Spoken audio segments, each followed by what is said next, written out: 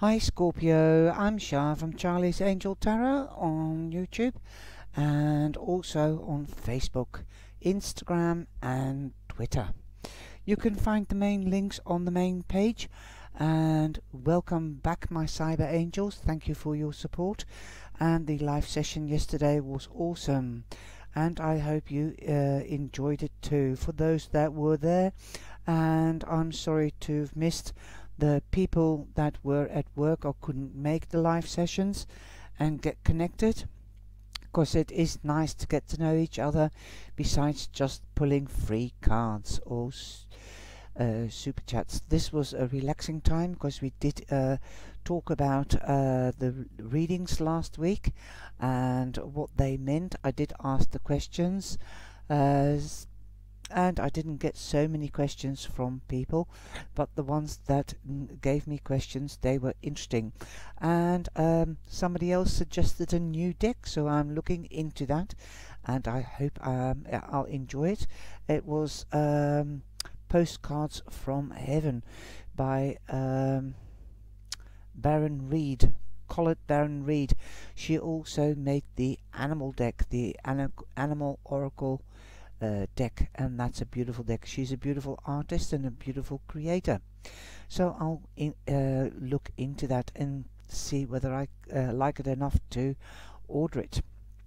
But it sounds interesting.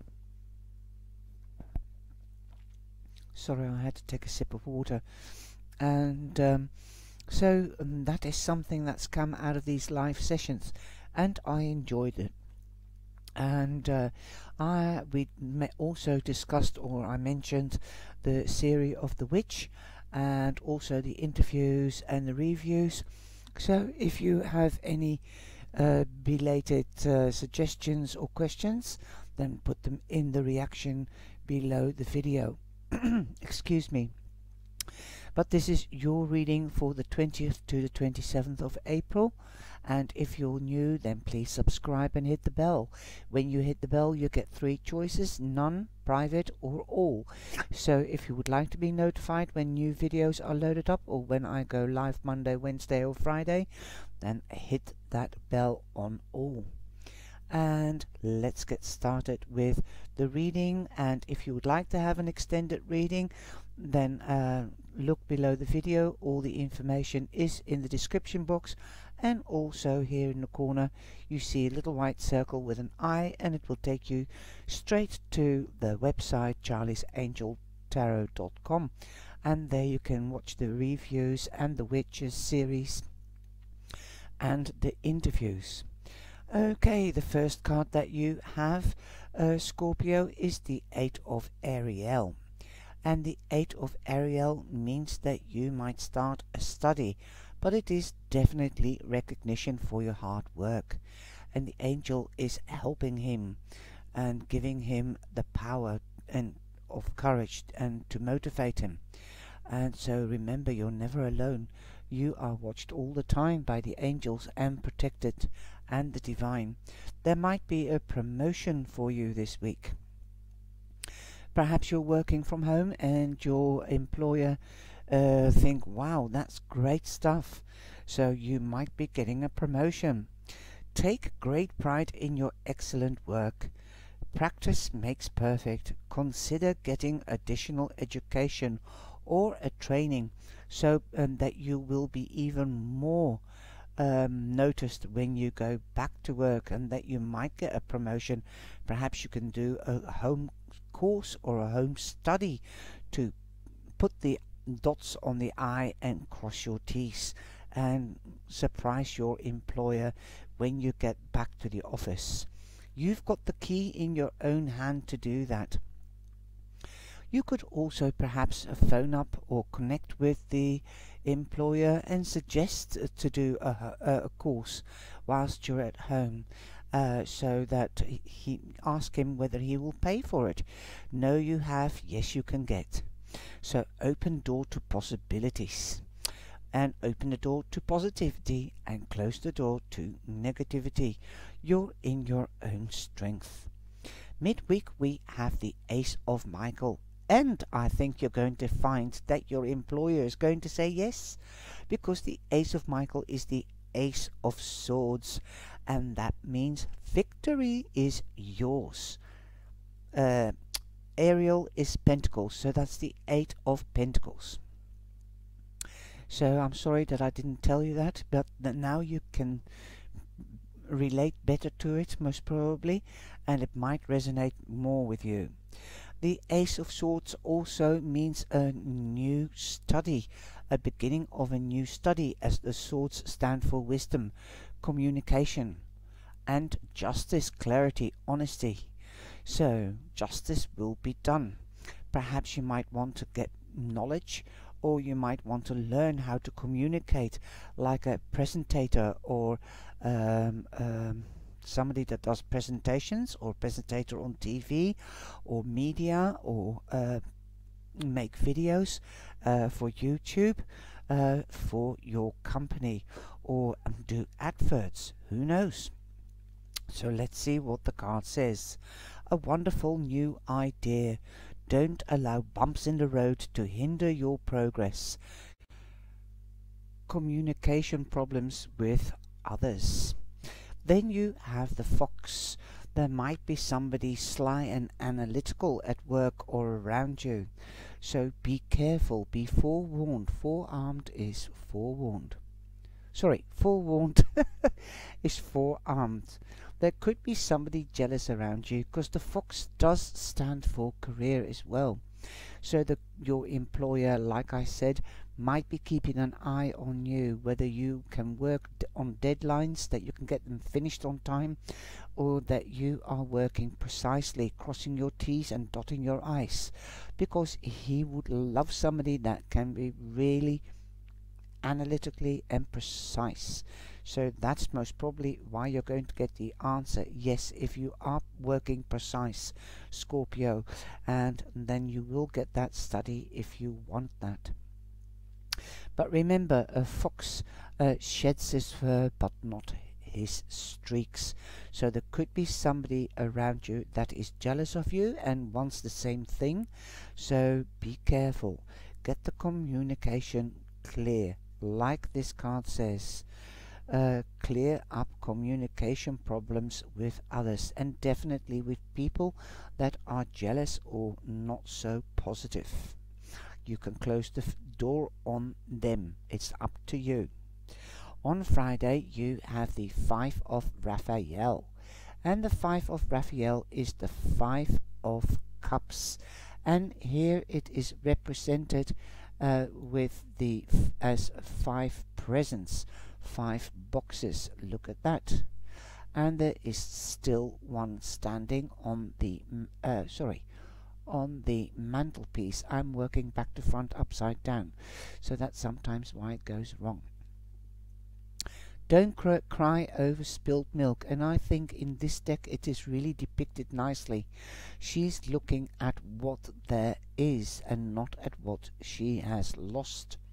Empty boxes or empty cups. She's looking already to the future. She's eager to open up, but she's in hesitation. Look at those arms and hands. She's standing there in hesitation. Shall, we, shall she or shan't she? Perhaps you are thinking about that as well, about the study. So it says here, everything happens for a reason. Release regret and embrace the opportunities for happiness. Search for the silver lining. So, what is coming. There you are in a transformational period though because you've got the coffin. So that means not a literal death but an end of a phase and a new beginning. And you've got victory so that's why I can say I think you're going to get what you are going to ask for if that is what you want. Then you've got the Three of Pentacles, the Three of Ariel you can see that he's hard at work there and he's looking at what he's made. He is he's an apprentice. The Three of Pentacles is an apprentice. So perhaps you've got two study cards here. So it is quite imminent that there might be a workshop or a new study. that is quite imminent I think um, but you will get recognition. This is the apprentice apprentice card. This is the legacy and the also the recognition card for your hard work. But this is the apprentice card so that is at the weekend. I think you're taking your time and you are celebrating. I've got the feeling you are celebrating and that you are going to start something new or gain knowledge in some way and that you're happy for this beautiful recognition because you've got the tower and the tower also means in Lenormand something different than in um, the uh, tarot.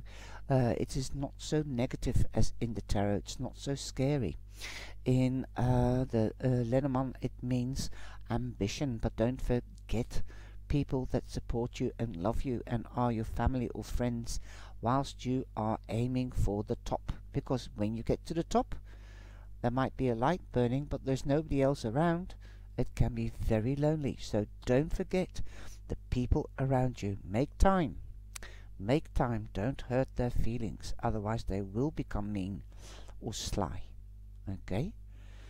You might be even, uh, this is the card of ambition as well. And here you see that the tower is not falling because it's standing straight. As in the tarot, it's falling. The top of the tower is falling and he's sort of wonkling like the Tower of Pisa. Here he's built. So make sure everything is built on proper foundations. This one is, so maintain that. But also keep, I always keep the Tower of Tarot in the back of my mind. Unexpected changes. Perhaps this might be an unexpected change for you that you have to learn or going to start to learn something new again. The overall energy is the strength card and you've got the number 11, the angel number. So there is a doorway, a new beginning. Step through it. Step through it, my darling.